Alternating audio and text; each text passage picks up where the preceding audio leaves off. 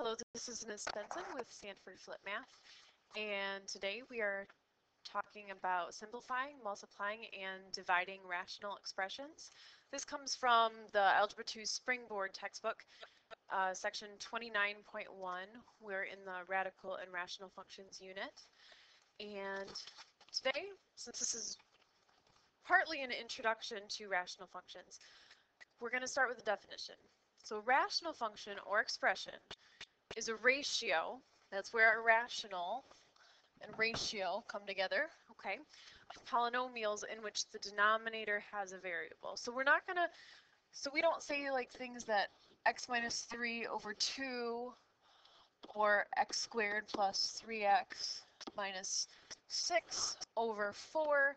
We don't say that those are rational expressions, but things more like x squared plus 3x minus 6 divided by x minus 3, or x squared minus 2x plus 12 divided by x squared minus 6x plus 2. So some sort of ratio of two different types of polynomials. So they could be quadratics, they could be cubics, they could be just um, monomial, something with an x term, but as long as it has a variable in the denominator, that's what we call a rational expression. Okay, so now we're going to get into doing some simplifying. So for all of our following examples, so simplifying, multiplying, and dividing, we're following a few basic steps. So the first thing we're going to do is factor all of our polynomials. And I do mean all. Okay, we're going to do that first before we touch anything else. So if you need some help with factoring, Sanford Flip Math 7.2 in the Algebra 2 section will be um, will be helpful for factoring to review. And the more we practice, the better you'll get at it. Okay. Also, so number two, restrict the domain, or as it says in parentheses underneath, find the values that make the denominator equal to zero because we can't divide by zero. So if we have zero in the denominator, it's not going to work. So we want to pick out which values is going to make that are going to make that happen so that we can take those out of our domain. Okay, and then divide out our common factors. Okay, so that's where our simplifying comes in. We're going to cancel out terms or factors that occur in both the numerator and denominator. Okay, so it's just a quick overview. Okay, those are, so that's what's going to happen in the video. Basic format that we're going to follow for everything. Okay, so the first thing we're going to do is simplify the following expression. Okay, so we're going to take our first step, factor all of our polynomials, and I'm going to do that with our numerator. Okay, so I've got my 2x squared plus 7x plus 3, so I'm going to make the box that we normally do. Okay, and our a times c is 6. Okay. And our sum, we want that to add up to 7. So we got factors of 1 and 6, 2 and 3. This adds up to 7. All right, so we put our 2x squared, 3 in the box, and then 6x and x. Using this, we get our common factor here is x. Here is 3, here is 2x, and here is 1. Okay, so that means our numerator factors into x plus 3. Let me write that in blue so that it's a nice, same color that we want it to be. Okay, so we got x plus 3 and 2x plus 1. That's going to be our numerator. Now let's do the same thing with our denominator. Okay, I'm going to scroll down a little bit here. So keeping that in mind, we're going to make a box again. Factor out this one. So we've got x squared here, 12. Factors of a times c is 12. Okay, we've got 1 and 12, 2 and 6, 3 and 4. And we want those to add up to 7. So 3 and 4 are what we want. So we've got 3x, 4x here.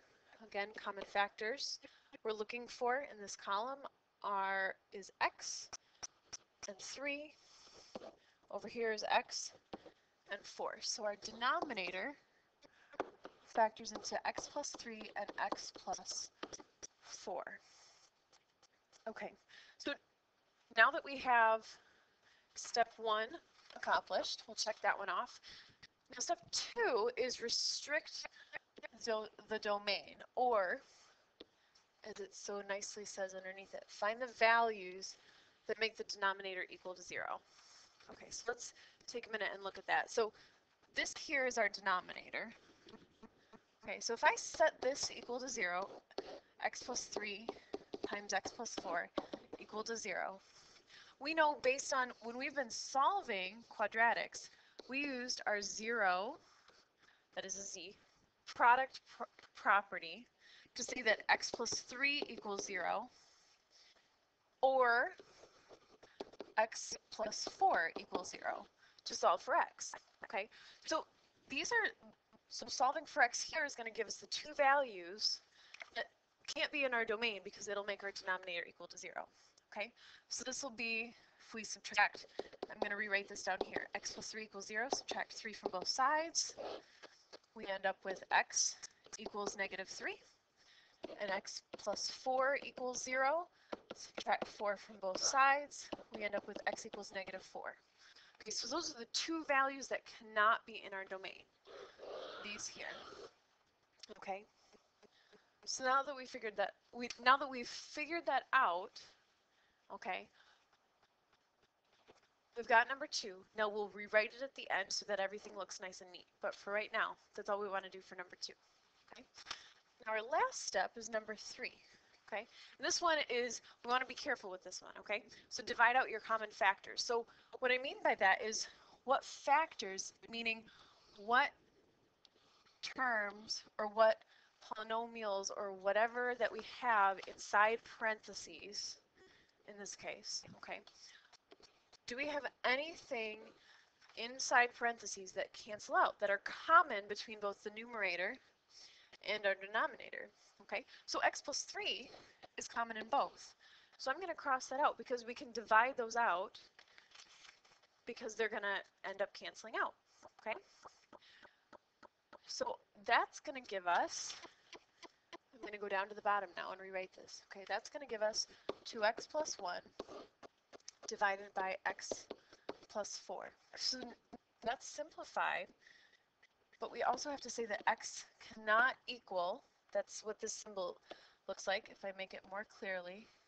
Okay, an equal sign with a crossed out, x cannot equal negative 3 or negative 4. Okay, so this is our final answer when we simplify. Okay, we've got it down so that we can't divide anything more out and we've restricted our domain. Okay, so we know exactly what we cannot have as x values. Okay, all right, so we're going to do one more example of simplifying. Or, well, that one says multiply. Ah, well, this one was going to be simplify first, so we'll do this one first. Okay, so again, I'm going to go through these a little bit more quickly this time. Sorry, it took me a little, a minute that I got lost there. Okay. So here we've got another polynomial. So again, we're going to factor this. Okay. So I'm going to go through these a little more quickly. Again, if you need some more help with factoring, come on in, watch that video that I mentioned earlier, the 7.2, or we'll be doing lots of practice with this as well. Okay, so we've got negative 14, so we've got 1 and 14, and we've got 2 and 7. We want them sub to subtract to equal 5. Okay, when 2 is negative, that works. Okay, so we've got negative 2x, 7x, common factors x, negative 2, x, and 7. Okay, so our numerator factors into x minus 2 and x plus 7. Okay, and our denominator, again, we're focusing on number 1, so we are now taking our denominator here and factoring that. So x squared minus 4, it's a lovely box. Okay, x squared minus 4, and we want those to cancel out to equal 0. So our factors of negative 4 are 1 and negative 4, 2 and negative 2, Now these two are going to add up to give me 0. So I'm going to have 2x, negative 2x, common factor is x, and 2, x and negative 2. So this one factors into x plus 2 and x minus 2. Okay, so we've got number one done, everything's factored. Now we're going to focus again on number two, restricting our domain. So I'm going to set my domain equal to 0. So x plus 2, that's this is our denominator here. Sorry, our denominator we want to set equal to 0. So x plus 2 times x minus 2 equals 0, which means I can set them both equal to 0 to give me which numbers will make the denominator equal 0. If we don't want that to happen, those are the things that we can't have in our domain that will not be present as an x value in our um, in the in a function when we set this equal to um, y when we set these expressions equal to y okay so we get x equals negative 2 x equals 2 okay so these are going to be the things that do not want to be in our domain okay we've got number 2 done now we're number 3 divide out common factors okay so do I have any common factors here again we're looking at stuff that's enclosed by the parentheses, okay? So we've got x minus 2 and x minus 2. Those both are enclosed by parentheses. They're in the numerator and denominator, so we cancel those out. And we end up with x plus 7 divided by x plus 2, right? Yeah. Left with x plus 2, okay? We also need to say that x cannot equal negative 2 or positive 2, okay? Now, I'm just going to say this because I do not want you to do this. Okay? Can we cancel out our x's? Can we say, okay, we can cancel these out and we end up with 7 halves? Absolutely not. Okay, I'm going to undo that because I don't want you to even think that that's a possibility. Because since we're adding these, there's a plus sign in the middle here. You're not multiplying them. Okay, so since you're not multiplying them, they're not common factors, so you can't cancel them out. Okay, so only if it's within parentheses, if they're enclosed within parentheses, can you cancel things out, okay? All right, so now let's skip ahead to that example, that lovely example that we were going to talk about here. Okay, so this one has to do with multiplication. So it adds a little bit more, but we're going to follow the same type of idea. We're going to factor everything out, okay? So our first step is still going to be to factor, okay? So I'm going to factor, but there's just a little bit more of that to do because we've got more things here to factor, okay? So I'm going to have my 2x squared minus 8. Okay, well first of all, I need to can't I need to factor out my x by 2, so I get x squared minus 4. Now, I'm just going to take note that we already did that back here, that two more, x squared minus 4, cancel this one factored out to x plus 2 and x minus 2, so I'm not going to redo that one again, okay? So this numerator cancels out to x plus 2, x minus 2. If you'd like to see how that was done, please rewind. But for this purpose, we're not, I'm not going to redo it. Okay, the only difference is that we had to factor out the 2 first. Okay, now our next one, we've got x squared plus 2x plus 1. So we've got our x squared and we've got 1. Factors of 1 that add up to 2 are 1 and 1. Okay, so we've got, now that we've got that, we are going to have x plus 1. These are common factors are x and 1. So this is going to factor out to x plus 1 times x plus 1. That's in our new, so we've got both of our numerators covered. Now I'm going to go over here and do my denominator. This one's going to be. We're going to just do a new page. x squared minus 1 factors into, we've got our x squared, negative 1, factors of negative 1, that add up to 0 are going to be 1 and negative 1. Okay, so I'm going to have x, negative x, common factor is x, common factor is 1, x, negative 1. Okay, so I'm going to go back. This factors at x plus 1, x minus 1.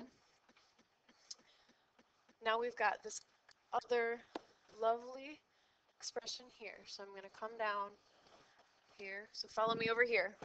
Okay. x cubed plus x squared minus 2x. Okay. Now, first of all, take a step back. Is there a common factor in there? Absolutely. So I'm going to factor out an x. So I get x squared plus x minus 2. Okay, now we can factor out. So x is one of my factors, and I'm going to have two more. So I'm going to write that up there right now. Now I'm going to factor my x squared plus x minus 2.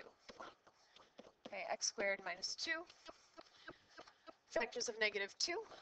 We've got that add up to 1. So we've got 1, and we've got 2. Which one of those is going to be negative? My 1. So then we add up to 1. So this is negative x and 2x. This is x, negative 1, x, and Okay, so this ends up factoring into x minus 1 and x plus 2. Okay, whew. Took a little bit of extra time, but we got all of them factored now. Okay.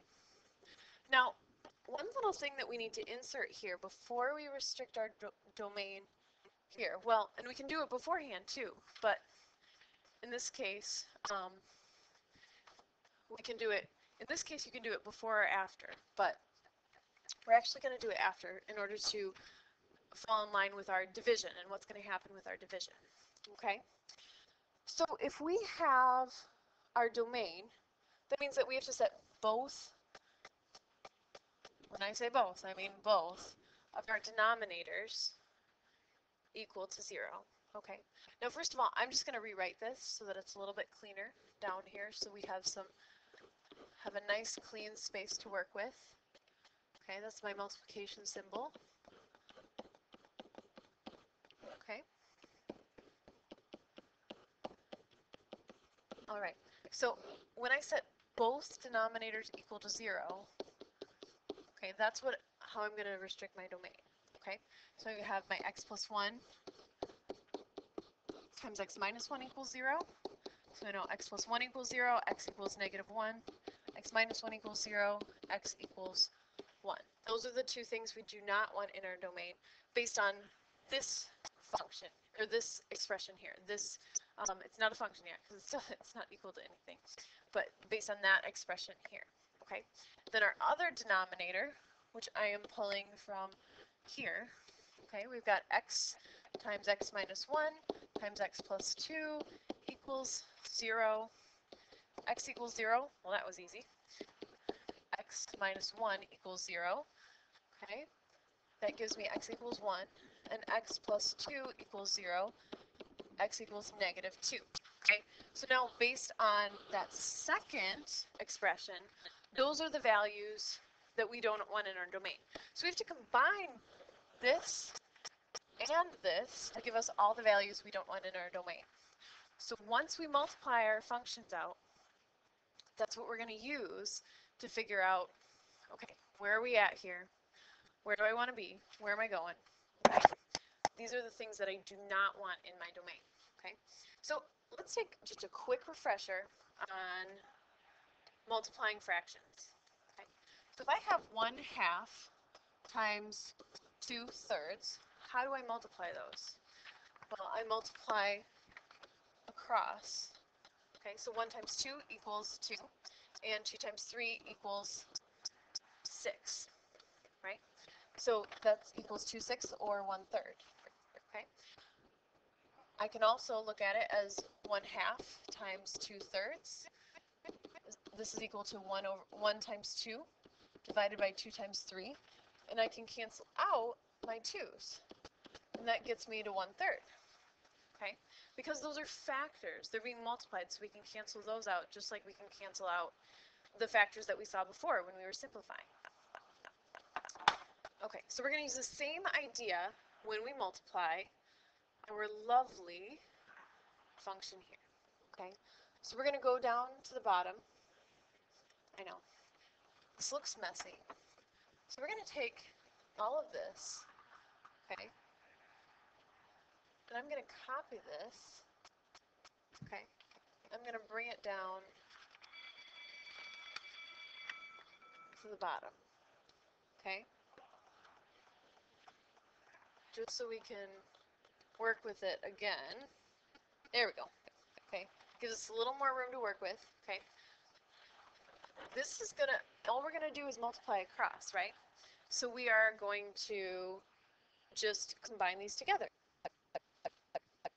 Okay, so for our multiplication, the only difference for from or from when we are simplifying by just simplifying one at a time is that we're basically just smushing these two together. Okay, they're they're becoming one because like when we multiplied our fractions, if we do our if we go back to our example, you multiply your numerators and then you multiply your denominators. Well, if you're multiplying factors, they just end up all just sitting right next to each other. They're just going to end up multiplying together. So we end up with 2 times x plus 2 times x minus 2 times x plus 1 times x plus 1 all over x plus 1 times x minus 1 I'm going to put this x out front here just so it doesn't get lost because otherwise it might get lonely and lost in the middle and I don't want that to happen. So we've got x minus 1 and x plus 2. So our numerators and denominators just smush together, okay? And now we can cancel out anything that is connected by multiplication. So each factor is connected by multiplication.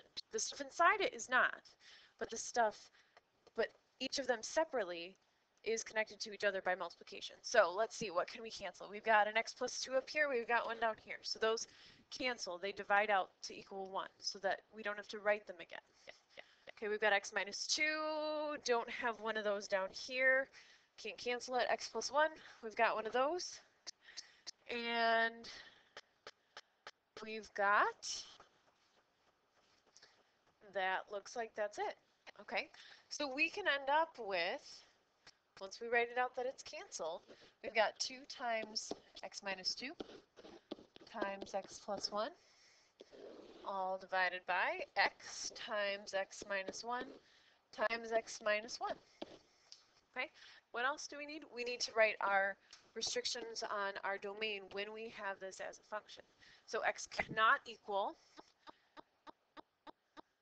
let's say we have to combine these. So we've got negative 1, 1, we had 0.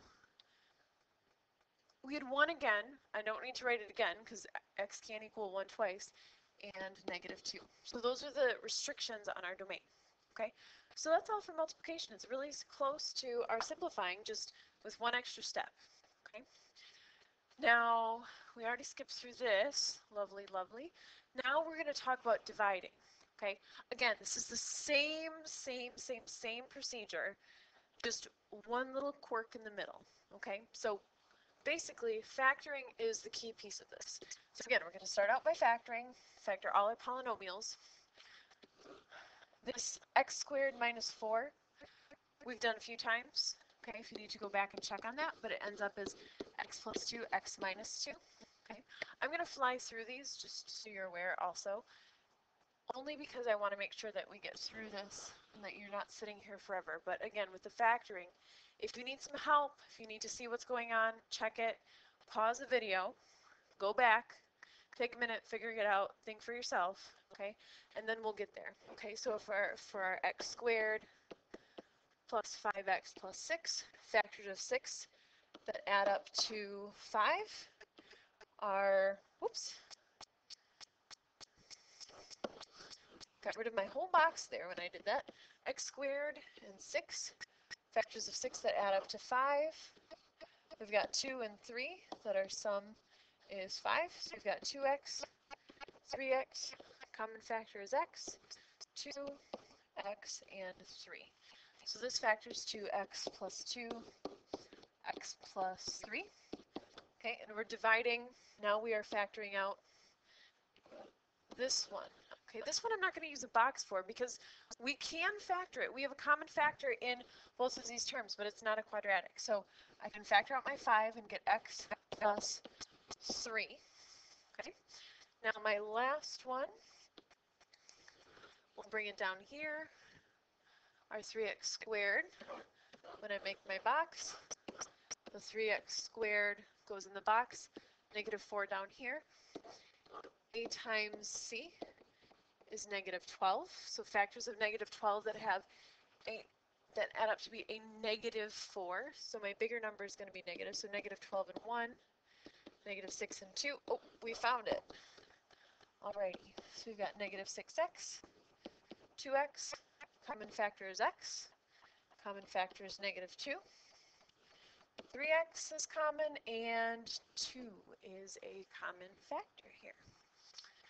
Alrighty, so our factors down here are x minus 2 and 3x plus 2. Okay, so now we've got number 1 done. Number 2, we have to restrict our domain. So I'm going to set the domain of both of these denominators equal to 0. So x plus 2 times x minus 2 equals 0. x plus 2 equals 0 gives me x equals negative 2. x minus 2 equals 0. X equals 2. Next one, x minus 2 times 3x plus 2. Set that equal to 0. We've got x equals 2, x equals negative 2 thirds. Okay. Once we set each factor equal to 0, that's how we're going to get it. Okay. So these are our restrictions on, on our domain. So now that we have all those, we are at lovely number 2. We're all set. Okay. Now, for division here, we've got one more, just like in multiplication, we've got one more little step here to follow. Okay, our actual division needs to happen. Okay, now with that division, what do I mean by that? How do we divide fractions? So let's do a quick refresher on how do we divide fractions. Okay, so if I say 1 half divided by 3 fourths, okay, let's refresh our brain, dig back to way back when. Okay, this is the same as 1 half times 4 thirds. Okay, multiply, this is multiply by the reciprocal. Okay, so 1 half divided by 3 fourths is the same as 1 half times 4 thirds. We're multiplying across, so we get 4 over 6 or 2 thirds. Okay, we're going to use the same idea going back here with our polynomials. Okay, so we've got them all factored out, nice and neat. Okay, so we've got, so I'm going to rewrite them down here. Okay, so I had, I just took a, a quick second to copy and paste it down there. Okay, now I this is my rewritten factors that we had before, okay? Now I'm going to do the same thing as we did with the numbers, okay? We're going to multiply by the reciprocal. So we've got x plus 2 times x plus 3. This is staying the same. This first rational expression here stays the same. Then this one, I'm going to multiply, changing into multiplication, and I'm going to multiply by x minus 2 times 3x plus 2 divided by 5 times x plus 3. Okay, all we did here was switch the positions of these. That's what the reciprocal is. I'm flipping it over. Okay, I'm changing the, and now, just like with multiplication, smush them together. We're multiplying across the top and across the bottom. We've got x plus 2 times x plus 3 times x minus 2 times 3x plus 2 over x plus 2, x minus 2, 5 I'm going to stick out in front just so it doesn't get lost, and x plus 3. And again, we're going to cancel out or divide by the things that are commons and that we are, that are connected by multiplication. So we've got an x plus 2, numerator denominator, x plus 3, and an x minus 2. Okay, so we end up with 3x plus 2 all over 5, okay, where x cannot equal, now what are those again? 2, negative 2, and negative 2 thirds. 2, negative 2, and negative 2 thirds. Okay, so we've got all of our steps covered for our division. I know this was a little bit of a long video, but I hope you stuck with me. Thanks a lot for those who did. We'll come back tomorrow, get some practice done. Have a good day. Thanks for watching. Bye.